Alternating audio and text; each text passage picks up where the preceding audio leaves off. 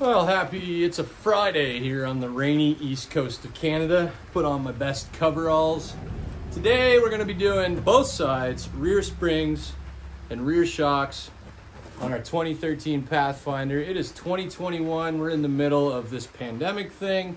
And I have done more auto repair this year than I can, uh, like wheel sensors and full front end on my truck and a timing chain on my truck and a couple of front, uh, what were sway bar links on this. It just feels like there's no end. It's the weekend, which means it's auto repair time. So I'm here. I'm in my what we call a garage. It's more of a shed that would hold three or four cars if it didn't have so many other things in it. But it's keeping the rain off my head that's falling right now. I should say this. This is not an instructional video. I could tell you that the bolts are 18 mil and 13 mil. I could give you part numbers for stuff. I can teach you how to hold your vehicle up so you don't hurt yourself, which is important to know if you're going to do this. But really, all this is, it's just a little bit of encouragement to say, hey, every video I see online, which are super helpful, I've watched some to learn about this job. You should do the same, just not mine. But every video I see is made by somebody that really knows what they're doing, really loves working on cars, super passionate about it. Here's the thing I don't really know what I'm doing. I know a bit. I've been working on my own vehicles for a long, long time, mostly because of necessity. I don't even really love it.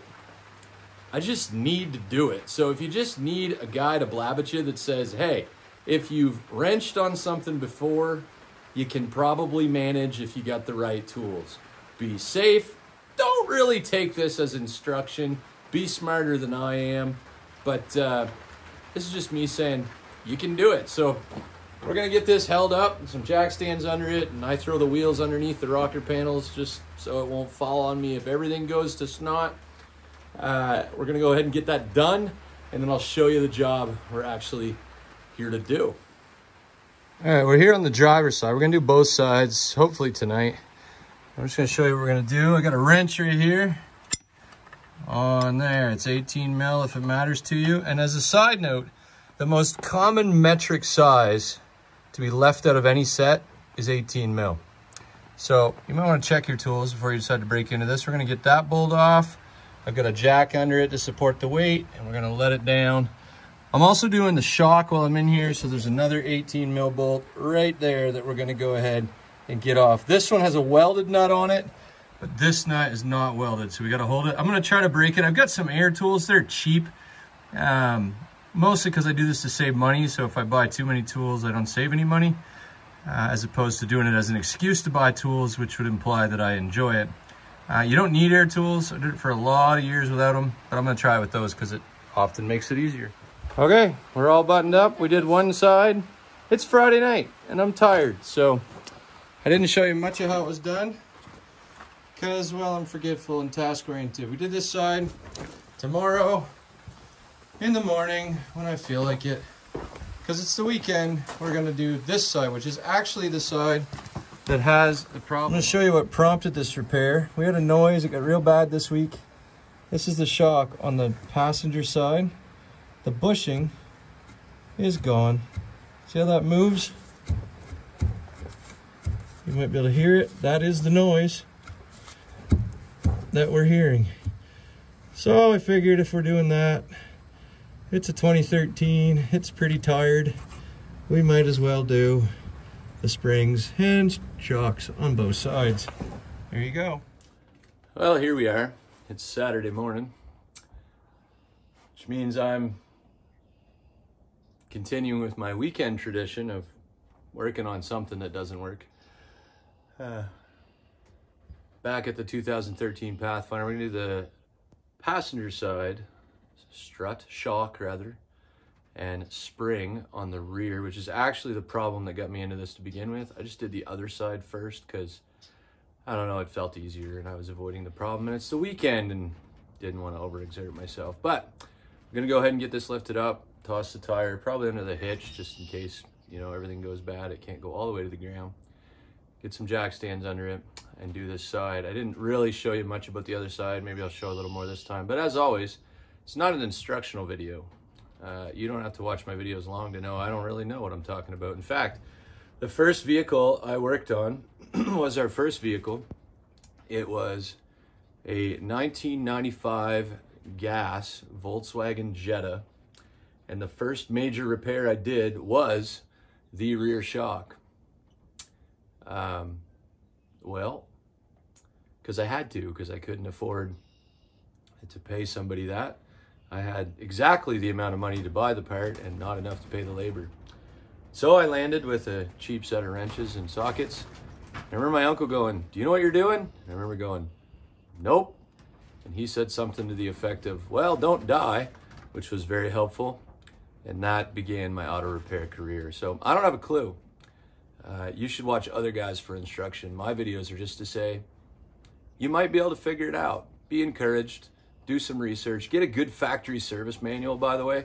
You can get them for this vehicle online for free. You don't even have to pay for them. And that'll give you all your torque specs and all that stuff if you care about that. Um, I'm not going to give them to you because I'm not going to be blamed for uh, your mess, basically. That's how that works. Um, but get one. They're invaluable. Spend some time reading them, watch some videos. You can probably figure this out if you're set up to do it. All right, so as you can see, we got it lifted up, wheels off, threw a rug down because I got this dirt floor. That's how I roll around here. And if I toss an old carpet and drop something, which I will, then I can find it. You can hear the air compressor leaking in the background because, well, we're fixing a car today, not an air compressor, so that's probably tomorrow. Um, we're gonna have a look and see what's wrong, but here's what brought me in here. I'm not sure why it's doing it, but this will not move right now. But when there's weight on it, that will move back and forth. So we're gonna go ahead and put some tension on this, see if we can get it to move and see why.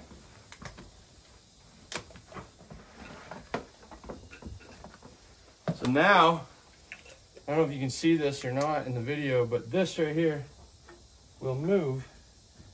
The bushing is bad. And that's creating a horrible thunking noise when we're driving down the road that has my wife worried that the wheel's gonna fall off. Now, told her all sorts of horror stories about what could happen if that went bad, but the wheel falling off probably isn't one of them. Somehow she didn't find that comforting. So we're gonna change this. I don't know if you can see it, but we're gonna change this spring. pop those out, let everything down. Two 13s up in here, that'll let it come apart. And put it all back together. That is the goal. So we're gonna get to it.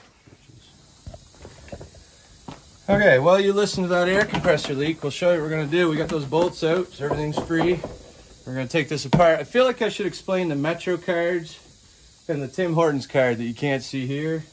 So there's these fancy little push-on fittings that hold that inner fender in. And my inner fender's got a big hole, and I haven't been able, actually three big holes, and I haven't been able to find a replacement inner fender that I don't have to give up a kidney for. So um, I took a couple Metro cards that I had from some trips to Manhattan, and I used them to fill the hole, and they've been there for a couple of years. Every time I take the wheel off, it makes me smile. So what we're gonna do, I grab this right here, it's all loose, pull it down, get the top free, and out it comes. This is the problem right here. I think that's on camera. It's not supposed to do that. I, I think you probably know that, but it's not.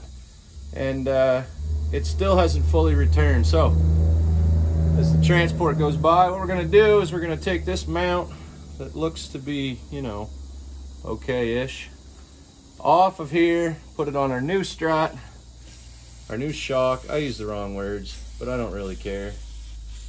And then we're gonna put that right back where it came from. That's the plan. A little penetrating oil. Also, we're gonna grab this spring right here, hopefully without damaging the other side of that arm. We did it. Pull that out.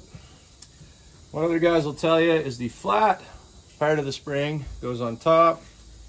The not flat matches up to this, which will match up in this arm down here that you can't see. And away you go. If you get yourself a factory service manual, it'll also tell you that this tab, or they calls it a protrusion A right there, goes toward the outside of the vehicle is what they say. So you put it on and you twist and there you go. If you get under there, you'll see how it works. All right, we're gonna go get our new shock ready. Okay. Okay, I'm just gonna take a quick moment and show you where we're at here. If your eye's keen, the camera's good. We got a spring, it's new. it's in. It's not torqued in yet, but it's in place. It's ready to go. But you'll notice that the strut, which usually is here, is missing. Now, this is the strut from the other side. It's pretty wore out, but mostly intact. This is what's left of the strut from this side, because that nut right there will not come off, which seems right, because it's a Saturday and I need this piece. So I've called every parts store in my county, some that aren't. Nobody's got them in stock. Nobody can get them till Wednesday. And as I said, it's a Saturday, my family vehicle. So we cut that off, you might notice. We've been playing with it in a bench vise with a bunch of penetrating fluid and an air tool that's not really strong enough to do anything. And uh, I'm frustrated, so we're going to another shop with bigger air. Some heat. Should be good. Well, we are back from our little shop visit. I ran to my grandfather's house. I didn't take any video where he's got some more advanced take it apart tools, most notably acetylene. We got this apart, which is great. We're gonna put the boot bag on it, put it on top of this, and put it in there where it goes. It, it went surprisingly well. I'm not gonna lie, I wasn't optimistic, but the quickest turnaround I could get on a new part was Wednesday, and I figured my wife would want her vehicle before then. And uh, I'm running out of time, actually. I'm not going to get to finish this. So we'll be back together in a little bit. I told somebody I would help move a grand piano today because I'm a sucker for punishment. So I'm going to go do that and then come back to this job. Well, we're back from moving a grand piano because that's something you should do at least once in your life. The wind's howling outside pretty significantly. It's beautiful. The skies are blue. It's sunny, but man, it's loud. So all that's left, we're gonna torque this down, button it up, put the tire back on, move on with our life. That's the plan. And we're gonna call this job done. Oh, we're gonna take it for a drive because we probably should make sure that, you know, the wheels aren't gonna fly off. That would that would be ideal. Um, but otherwise,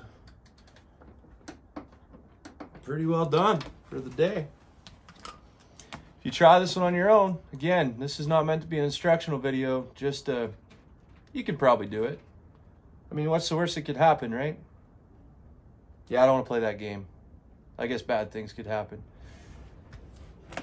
Get a good manual, watch some better instructional videos than this one. You can probably manage. That's that. It's all over but setting it on the ground and taking it for a drive, making sure the wheel doesn't fall off. So we're gonna do that. Happy Saturday.